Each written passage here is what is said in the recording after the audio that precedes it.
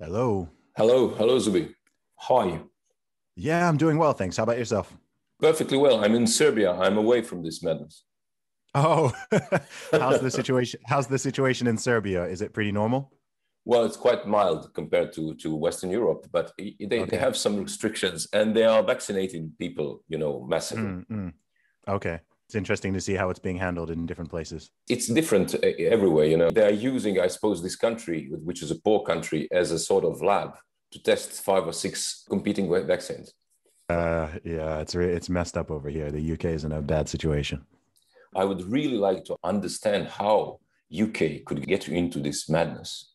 Sure. I've been following you. I, I was wondering that so few people who have a voice, who have a public, an audience, react to this thing. Yeah, I mean this this this extends beyond all that's been happening over the past year. Um, you know, people in the Anglosphere, you know, the, mm-hmm. the the yeah, you know, the UK, the USA, Canada, Australia, New Zealand in particular. I don't know why it's especially the English speaking countries, but I know this goes applies to some of Western Europe as well. People are people are afraid, right? People are afraid of speaking out. Political correctness has gone way beyond any reasonable level, and people are afraid to speak their minds in very basic ways even if something is a very popular opinion it's a very mainstream opinion etc this goes like i said this this was happening way beyond way before the pandemic but people are just very afraid to speak up. They've been silenced and cowed over a period of time. You know, I maybe yeah. it's over several over several decades. And I think that now what's happening, even with the pandemic, and when it comes to speaking out about things that people are concerned about, or asking questions, or pushing back, etc., if you talk to a lot of people uh, privately, then they'll say all this. They will say all the things I'm saying yeah. if you speak to them privately, one on one. But people don't want to put their head above the parapet. They're afraid of this so-called cancel culture. They're afraid of getting some flack. They're afraid of losing their jobs. They're afraid of all sorts of potential repercussions, which, in my mind, honestly, are vastly over exaggerated.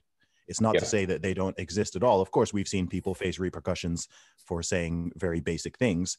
Um, but people have just been been cowed over time. So I think there's a pandemic of cowardice which is going on, and people are not wanting to stand out from the crowd. As we know, I think the, the greatest human fear is fear of judgment from other people, right? People don't want to be looked at as, a, yeah, as a bad person or as a, you know, oh, one of these scary conspiracy theorists or anti-vaxxers or whatever, right? And people like to throw these labels at people to get them to shut up, right? People want to throw. They think if you they just call you with this name, it will make you shut up. We've been yeah. seeing it happening over the last decade plus, where someone just expresses a basic opinion on something, and someone says, "Oh, you're a racist." Yeah. Right. And that's that's done to shut people up. It's not done because in 90% of cases, it's not because they said anything that was even remotely close to racist. Mm. It's just that people have learned, hey, if you call someone racist, you can get them to shut up and you can dismiss their opinion and you don't need to take them seriously. Now, in this situation, if you can say that someone is uh, a conspiracy theorist or an anti vaxxer or that they don't believe in science, then you can dismiss them or you can say that uh, they want to kill your grandma, they're a grandma killer. You can just throw this label on something and it mm-hmm. shuts up. It shuts up most people, right? It, most yeah. people don't. Nobody likes to be called names right? Mm-hmm. Nobody likes to be called names. I don't like to be called names, but I'm very confident in who I am. So I'm the type of person, just my personality. It's it's it's impossible to silence me by just calling me something that I'm that I'm not, you know. Yeah. Um, but that's not the case for most people. And I guess also in my situation, um, you know, I am I am self-employed and I do I'm not beholden to anybody else, but that in itself isn't all. I mean, there are people who are in much better positions than I am to speak out on things. But again, they're so afraid of any kind of judgment, any kind of name calling, any online mobs, cancel culture, all of this stuff that, that they won't say mm-hmm. even what they know to be true. I mean, we're living in a time literally where it's considered controversial to say that there are only two genders and men cannot get pregnant, men cannot menstruate, um, you know, women don't have penises, these are now controversial things to say. yeah. you know, in the everyone knows that this is true, Mhm. but this is somehow we're living in this weird time where that's considered if a controversial statement. If I go on TV and I say that there are only two genders, I'm gonna I'm gonna have to get ready for some backlash, right? Of course. and that's insane because we we we know that this is true. It's been true for forever. right? It- but somehow around, but somehow ten years ago or seven years ago, they decided that oh no, like we're we're changing this. And um, I think that I know you said that you're in Serbia. I feel like Yeah. Eastern. The, the truth is, the majority of the world isn't hasn't caught up with this madness. So if you go to Africa, if you go to most parts of South America, most parts of Asia, Eastern Europe, um, a lot of most places they're not they're not on this bandwagon of not just political correctness. I, I'd say actually cowardice and and rejecting reality, right? Actually yeah. rejecting rejecting reality itself, which is which is scary to me, right? That's very dystopian, right? If you can Yeah. convince somebody that um, the sky is red, and then you become a heretic for telling people the sky is blue or the sky is actually gray, and people are trying to attack you for that when you're just telling the truth that you can see with your own eyes, then we're living in a very dangerous circumstance because um, it it seeks to usurp actual reality. So that that's scary. Like if people are no longer willing to, if re, if if reality itself becomes an opinion, then um, I think society is in trouble. Yeah, you really uh, got into the point very quickly. I, I was I was about to ask you uh, what was the purpose of whatever you do because uh, you seem to be very self confident as a person into your opinions, into what you are, and and what and, and what your mission in this world is. Yeah. and uh, that's what I also noticed with uh, many people that they they don't know who they are what their opinions are what the meaning of their life is. So they so they are they are afraid. I mean fear is a product of personal inner inconsistency i think Mhm. so i think that we have we, we have to deal with with a sort of psychological pandemic of um, unidentification by people I, I agree. I agree. Um, yeah, no, I, I, I agree totally. I don't really know what to, I don't really know what to add to that. Yeah. yeah. So, uh, so, so the problem is uh, there is a mi- minority of people. I, th- I, I don't know. It's my, my observation. There's a minor- minority of people who consider that two plus two is four, Yes. and a majority that can be convinced that two plus two is anything. Do you know, do you know what? I think that the people who can be convinced it's anything are actually a very small minority, Mhm. but they are very, they're very loud. You know, Mhm. I think that the truth is the majority of people, and this goes with most things, the majority of people do not want to rock the boat, right? The majority of people, the majority will always be the majority, right? That's what I always mm-hmm. say. Like the majority will behave like the mm-hmm. majority. So uh, the people who are really pushing the crazy ideas can be less than 5% of the Yeah. population. But then also the people like myself who are willing to vocally stick their head up and speak mm-hmm. out in resistance or in opposition are also a very small minority, right? The majority of people will just kind of go along to get along, Mhm. um, even if even if they're not comfortable with it or they have questions or they're not totally on board. At, at Mhm. most, normally they'll sort of dissent privately, right, in their own head, in their own amongst their friends who they know it's safe. You know, they'll talk about the, all of these things, Mhm. but they wouldn't put it on social media or they wouldn't express it in the workplace or they wouldn't say it at school or at work or at university et cetera because they're afraid of the backlash right? I do think that sane people um, on most things are actually the majority but th- th- there can be this uh, it, it's silencing right? It's creating this chill where you're you've allowed a small minority of people to sort of set the rules and set the boundaries and not just set them but enforce them you know i, I say it just because it's such a ridiculous notion right the, the percentage of people who believe that a woman can have a penis or a man can get pregnant is a Mhm. very small minority but it's a very vocal and aggressive minority and they are willing to uh, i mean we've seen this all throughout history right a, a, a Mhm. small aggressive motivated minority can can cow Mhm. um, a large percentage of the population yeah. right? Which allows them to run roughshod, and and it also creates the illusion that they are far more numerous than they are. Yeah. They could create this illusion that, oh wow, you yourself start thinking, wait, am I in the minority? But no, you're actually in the you're actually in the majority, but everyone else is quiet. And especially in this online world with social media, um, Yeah. you know, a couple thousand people can make it look like it's hundreds of millions of people, even Yeah. though actually it's a really small number of people doing something. But like I say, most people are quite um, you know, and maybe this is sensible, right? Most people are conflict averse. Most people Mhm. would rather avoid conflict, avoid arguments, avoid fights, etc. Um, and the truth is, most people don't really have particularly strong principles that they are willing to push back on and fight against. Right? People always say, hey, "This isn't the hill to die on. This isn't the hill to die." You know, some people have no hill that they are willing to die on, so they'll kind of keep bending over backwards and bending over backwards. And I don't think they realize um, or if they do, again, the cowardice has just gotten a hold of them. How how far some of this stuff can go, right? Um, people aren't seeing. Okay, so in this situation we're dealing with with the pandemic, um, I've been speaking out against this for over one year now, very Mhm. vocally.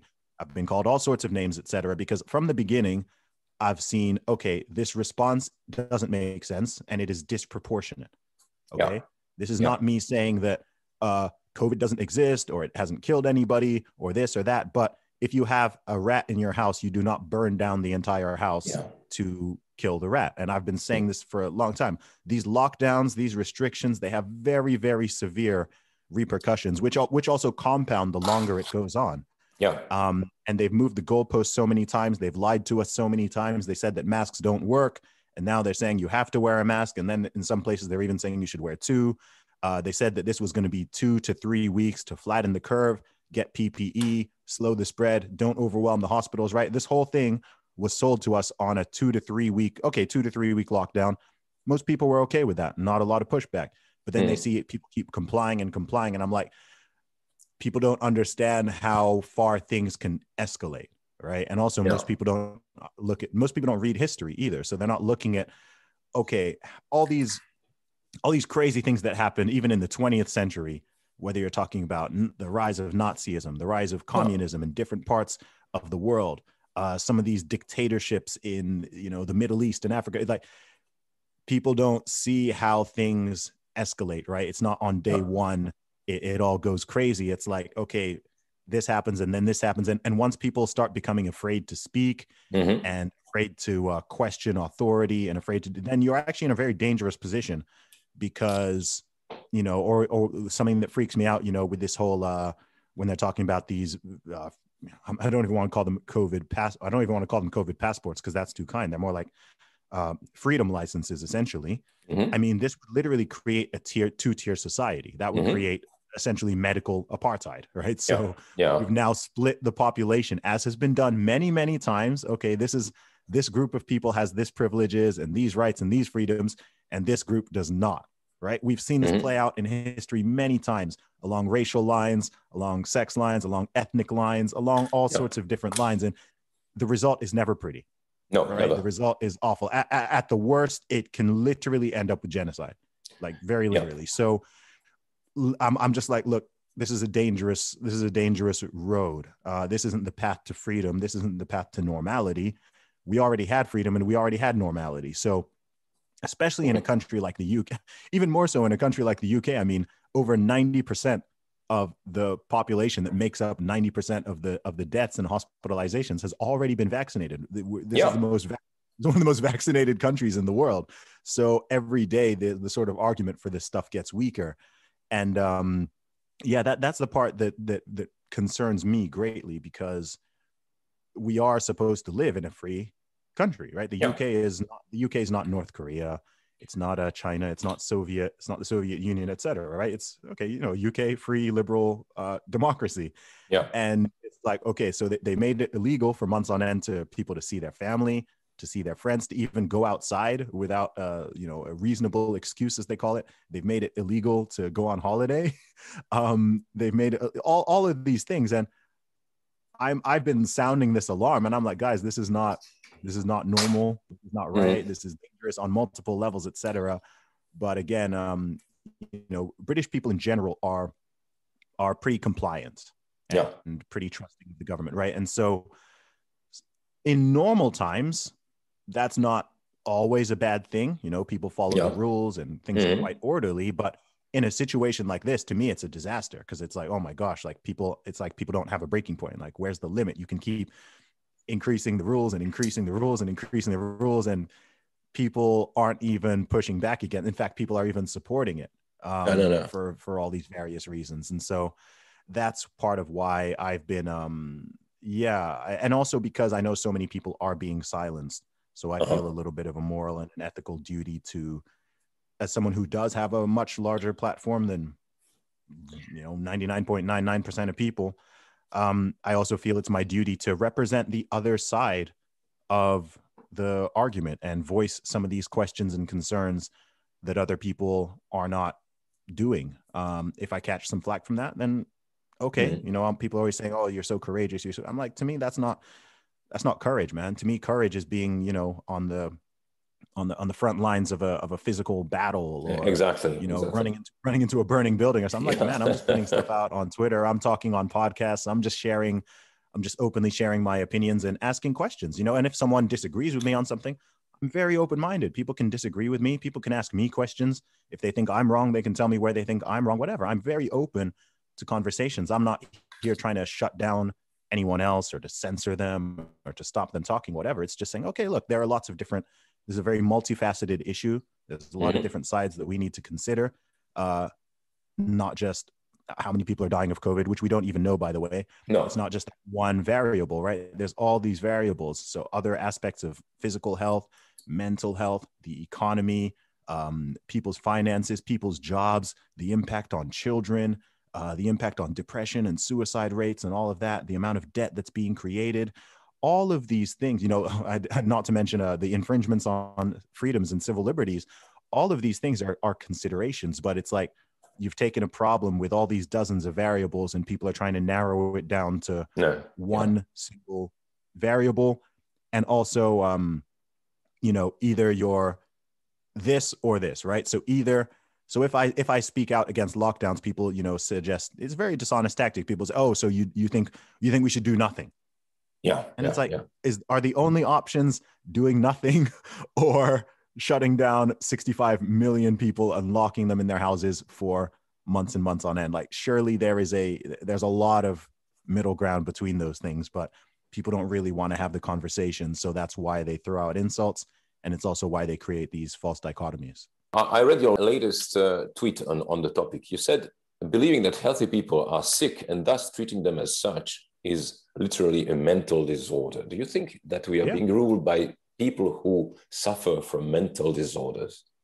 Oh no, I don't think we're being ruled by them, but I think that the level of propaganda that Mhm. has been instilled over the past what 13 14 months now is giving people mental disorders. I think people have become not everybody, but people have developed, you know, hypochondria, right? Yeah. People are there acting like, you know, there are people who every time they they buy their groceries, they they cover the whole they they put bleach on it um, and you, you know, or they're running around outside with like a face mask and a shield and their gloves, and I, I, I mean, the virus doesn't even spread outside, and so yeah. people are behaving like hypochondriacs, but then they're also treating everybody else as if they are sick, right? Mhm. So all of the rules, all of the guidelines, whatever, it's all based on this notion that, you know, in the UK they have posters up saying "act like you've got it." Right. And Mhm. I'm like, that's actually promoting mental illness because you're not meant to act like you are sick if you are not sick. If you're perfectly healthy, um, you don't act like you're sick, and other people shouldn't be looking at you as if Mhm. you're just a disease vector, right? People have been trained to just see human beings as, oh my gosh, this guy could have COVID, that guy could have COVID, this woman can have COVID, like everyone, my child, my dog, everyone has COVID. And it's really unhealthy, actually. And I Mm. think it's very damaging to the fabric of society because what makes human beings human is our, our social bonds and our connections and seeing people and seeing smiling faces and talking to people, not, you know, Oh. swerving people in the street and everyone hiding their faces with masks and, you know, people distancing the, there are people who haven't seen their own parents for Yeah. over one year Yeah. not because they're sick or because they, but but because you know essentially the government told them to and they've they're so fearful and to me that's all just that's all just crazy you know it's a combination of hypochondria Munchausen, Munchausen by proxy, all of which we know are actual mental disorders. So I think that, uh, yeah, I mean, the problem, it, it's like all these other pandemics have been created um, mm-hmm. off of the back of this one, which, um, you know, which again, and, you know, this upsets people when you say it, but really is is very mild for the vast majority of the population. Yeah. Um, you know, in the UK, in most countries, 90% of the people dying, approximately, are over the age of 60 with pre-existing conditions. Mm-hmm. Um, the, the, number of young people dying from this is ver- the percentage of you dying from this if you're young and in, in decent shape. It's virtually zero. It's virtually mm-hmm. zero, which is good. Right? Yeah, that's a good thing. Um, you know, it's sad that it, people dying from anything is sad, right? You you yeah. you we all kind of we know that we all good we all die. Everybody dies. Um but you know we don't want you know every every life absolutely matters. But we also know there's a difference between somebody who is 85 years old dying of a disease and someone who is 25 years old dying of a disease right? Of um, course. and people have been dying all the time. I mean I, in the uk i believe the average age of death um, with covid is around 81 82 years old which is mm-hmm. literally the same as the, the average life expectancy. Yeah, yeah, yeah. Yeah, exactly. So, and and people just don't want to speak about this honestly, or they try to misinterpret you. They'll hear me saying this, and they'll say, "Oh, so you're saying old people don't matter, or you don't care if." Old. I'm like, dude, can we just be honest here, right? Like, why can't mm. we have an honest conversation? And and we've known that it's elderly people who are dying and being hospitalized. We've known this for over one year. We've known this yeah. for over one year. The data is from all the countries. So I've been saying these are the people who need to be prioritized and protected, right? Yeah. Putting locking up a 20 year old in their house for one year makes absolutely no sense. Shutting down all the gyms makes absolutely no sense, right? People who are elderly and at risk, they need yeah. to be protected, shielded, yeah. shielded, etc. You know, within reason, based on what they want as well. Um, and everyone else can get on with life. People even keep saying, you know, we need to protect the NHS, protect the NHS. And I'm like, how is the NHS funded? The, N- the mm. NHS is funded through tax through uh, tax money. Yeah, from people who work, our work and our yeah, labor. Yeah, exactly. Yeah. So if nobody is working, what is the long term impact even on these public health services? It, it's so it's so short sighted. It's been so myopic, and it's like people are not thinking about like people are not thinking about all the different factors here. I'm sure there's a whole bunch of stuff I'm missing as well. And and I'm not and I'm I'm a rapper. yes. I'm a rapper, I'm an author, I'm a podcaster. Like I'm not a politician, yeah. I'm not a policy expert. I'm I'm just someone who is a concerned citizen and who is a critical thinker and who likes to think of things from different angles and have conversations. So there's also a part of me which is like why am I the one who is why is it me who is who is saying all of these things? Like the journalists should be asking yeah. these questions. But you are one of the rare people now who have a sort of historical concerns, historical perspective on things. So all these mm-hmm. things already, as you as you reminded us, all those things already happened. I mean, in the 20th century, we have we have so many examples, but it was not called a, a pandemic. It was called, you know, uh, uh, racial wars or, or whatever, or class wars. Mm-hmm. Now, if if you could imagine that in the next century, within 100 years from now, there was a sensible historian, somebody looking at our time, how would he interpret the origins and the development of this madness? Wow. I, I, guess it depends on who gets to write the history. yeah, um, of course. But if they haven't, if they haven't, yeah, but if they have a remotely objective view, I think that they will see that this was a huge moral panic. It was a, a mass hysteria it was a very disproportionate response.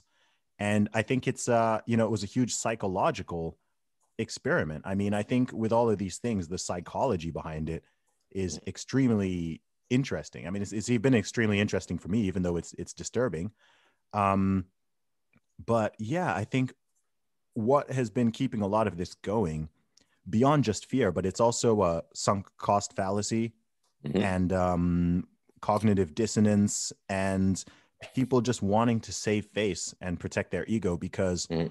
nobody wants to say that okay all of this stuff that has been done over the past year the, the masks the closures the, the, the lockdowns the unemployment the suffering caused no one would want to say that it didn't make a big difference yeah right nobody no. nobody is certainly no politician Um, but even anyone who's been following all of this, no one would want to be like, okay, um, you know, we, it has to be justified. You have to be able to think in your brain, okay, we did all that and it was painful and it was difficult, but at least we saved, you know, we saved lives. Yeah, yeah, of course. And, and the evidence for that is, um, I mean, if you look at data across the different states in the USA, whether they lock down or not, you know that the there's no correlation. There's no correlation between these lockdowns and the mask mandates and um, and the actual death rates in different places. It seems like policy actually makes a v- relatively small difference um, mm-hmm.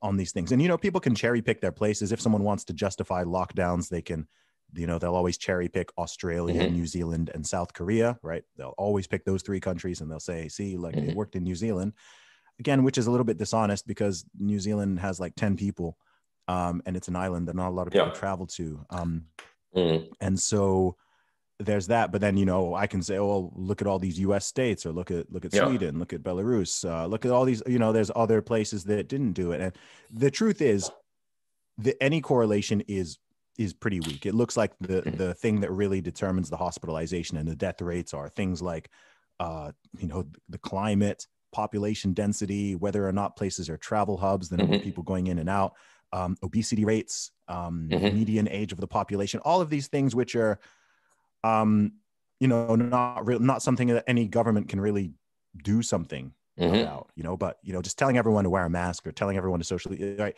it feels like you're really doing something and people feel that comfort like they're doing something. But um there's always a big difference between doing good and feeling good. Yeah, right? it's course. easy to it's easy to advocate for things that make people feel good um, or make them feel like okay they're doing something and they're being responsible rather than actually looking at okay what is the real what's the real effect of this? And i'm someone who's very much in the latter category which is you know, I think how it, it does upset people a lot because I'm always thinking of like, okay, well, what's the what's the reality of this? Like, forget what you feel, right? You know, I know, mm-hmm. okay, if you wear a mask, you make it feel like you're protecting people and you're saving, but like, okay, let's what's the evidence? What's the reality of this? What's the data? Let's compare places. Let's look at this right? Let's forget about how it makes you feel but let's look at the real impact you know? And and also let's look at the the downsides right? What are the potential downsides of this and what could come next et cetera. So i'm always asking these questions. Um, yeah. i just i just like to ask a lot of questions. It doesn't even mean that i always know the exact yeah, answer. Yeah. yeah. No but but we should but we should ask them you know when it comes to these uh uh you know these jabs and injections you know the, these vaccines that are rolling out. Yeah. People should be asking people should be asking questions. That doesn't make you an anti-vaxxer. It doesn't make you anti. In fact, it's pro-science, right? Yeah, like yeah. pro-science is is asking questions, right? And people get nervous and become even more conspiratorial if they feel mm-hmm. like they're not allowed to ask questions or certain questions aren't being answered. And there are some very obvious and big ones. You know, we don't know the long-term effects of these. It's impossible yeah. to. Yeah. Right. So if I if someone's like you know pushing vaccines or whatever, and I say, okay, what are the long-term effects of this? They can't tell me. Mm-hmm. Right and and then they you know they're always gonna they'll try to call you a name or they'll what and it's just like okay well that's just a fact right? That's not even me saying oh nobody should take this. It's just saying okay well these are people's concerns. Here are 10 concerns that people have you know about you know the speed that it's come through the fact it's gone through under emergency procedures. People are question you know questioning this new mrna technology. We don't know what the long-term effects are. We don't know how long it lasts for. There's you know the fact that uh, there's all this sort of uh, coercion in certain places going on, trying to sort of threaten people to get, you know, all of that. These these are legitimate concerns and mm-hmm. questions, mm-hmm. which an honest person would be willing to answer. And you know, I've had people, you know, I've, I've spoken to doctors. I have doctors in my family. I've spoken to people who, you know, answer these questions and concerns, or even express some of their own. And but in the public field, it's very very difficult to. People don't really want to have those conversations in general. And to me, again, that's that's that's disturbing. And mm-hmm. a big part of this as well, man, a big part of this for me, and this goes across everything I've said, is I always, I often say there's only three ways to solve a conflict, whether it's mm-hmm. interpersonal or it's on a national or international level conversation, mm-hmm. separation, or yeah. physical violence. These are the only three ways you can solve something. It doesn't matter if it's with your friend, with your spouse, with your children, yeah. in between countries, whatever. So when when the discussion, when people don't want to discuss things or debate or have conversations, it automatically makes me nervous because it's like, yeah. okay, well, if you don't want to do that, either we have segregation and you go over there and I go over there and we mm-hmm. don't even communicate with each other or it leads to or it leads to violence right it leads yeah. to it leads to wars it leads to physical fights because you know that happens when the communication breaks down so i again i get nervous when people don't want to even don't even want to communicate. They don't even want to entertain the debate. They don't want to entertain the discussion. Then i'm like okay well you've we've now lost one of the three options. Yeah. So now it's either okay we just don't talk and we don't mm-hmm. communicate or it's like okay this is you know it eventually leads to people fighting and nobody wants that. Obviously we are now entering a, a phase where where uh, physical coercion is is considered normal mm. which you know a year ago nobody nobody would have believed you if you had told them you will not be allowed to leave uk no nobody would have would have believed that. no nobody would have believed that and it's what's crazier is that the restrictions you know i mean look come monday i i hope i hope that the tide is about to turn because mm-hmm. on monday a lot of stuff opened a lot of the restrictions loosen on monday yeah so i'm hoping i'm hoping that people fall out of totalitarianism as quickly yeah. as they fell into it, right? Yeah. Especially with, you know, uh, you know, I want everyone who wants these vaccines to take them, even if it's for the fact of putting their minds at ease, because because people are not thinking logically when they're this fearful. So I was like, look, if you if if that's what will make you calm down, mm. I'm I'm all for it, right? Don't force it on me. Don't force it on other people. I literally don't need it. I've already got the uh, antibodies. Yeah. But um, you know, I just want people to, you know, just chill out and become.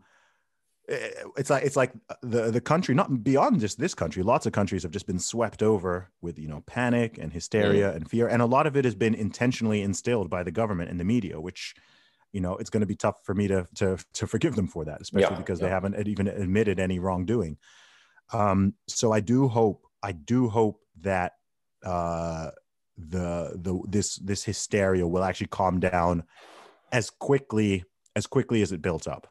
And yeah. people will realize you know once people start seeing their friends and their families and all that again they'll they'll remember oh actually yeah normal life is actually quite good. And um, i quite like uh, having my freedoms and being able to go shopping and not having to put this thing over my face everywhere etc so um, I, I think the fight is not over yet. I think no. we have to be very vigilant. People have to be vigilant and make sure that they get back all of their freedoms which were you know i will say illegally taken. Um, but um yeah so I, I'm, I'm optimistic I, I do believe that in the long term uh the, the human spirit always does win yeah Thank you. Thank you a lot. It's very important that voices such as yours speak out. I listened to, to Van Morrison's songs. I don't know what happened with him uh, after he spoke out. Did he have a backlash or something? I'm not sure. I haven't really followed. Um, I've heard. I know that Van Morrison is one of the few yeah. musicians who has been speaking out. Um, I haven't really mm. followed that much of his mm. stuff. I think it's uh, Ian Brown from the Stone Roses here. Yeah. I think has been speaking out as well. Um, I do follow him online. Um, but yeah, it's pretty quiet. And again, in my experience, the vast majority of musicians and entertainers are very much anti-lockdown. Um, it yeah. makes sense, right? Yeah, of course. But of course. but yeah, but again, people don't want to people don't want to say anything. No they don't want trouble. They don't want to risk uh they don't want to risk their career. They don't want to and man i mean yeah I, I find that frustrating. I found it very frustrating for for years but um at the same time um you know it's uh i think those of us who who do speak out we serve to you know i don't do it because i gain from it but mm. it also serves to you know create a you know i've had new people discover me and discover my music off yeah. of stuff that has nothing to do with it. And um and it also encourages and it emboldens other people which is really yeah. the the core of everything i do from my music to my podcasting and my writing and my fitness stuff. It's always been about inspiring other people. It's all that's that's been my thing for 15 years. Since i started i've always wanted to inspire and motivate people in a positive way. And that that's grown that's grown yeah. in different ways so now I know I'm still inspiring and I'm motivating people, even if it's just to be a little bit more courageous, a little bit more bold. Um, you know, try things in a different way. Don't be afraid to ask questions. Don't be afraid to just, you know, be yourself and realize that it's not that dangerous in reality. Um, and so, however many thousands of people I can empower in that way, to me, that's all a win as well. And it fits in with my overall goal.